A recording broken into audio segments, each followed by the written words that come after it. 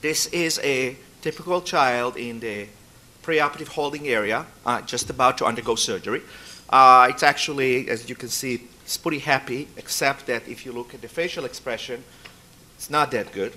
And you bring this child into this operating room, and it's, you know, this is a typical operating room, fairly large. It's actually empty because it's 7 a.m. before the production line has started.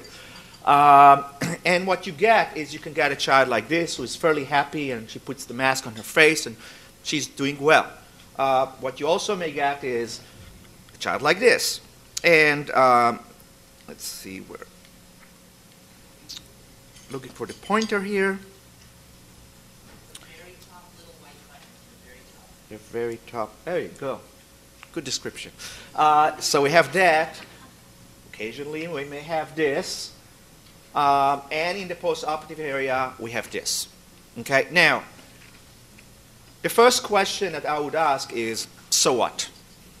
Okay, now typically um, I give a lecture such as this in front of surgeons, in front of anesthesiologists, and you know the audience today may be a bit more in tune with this issue, and this question may be totally, well, what do you mean?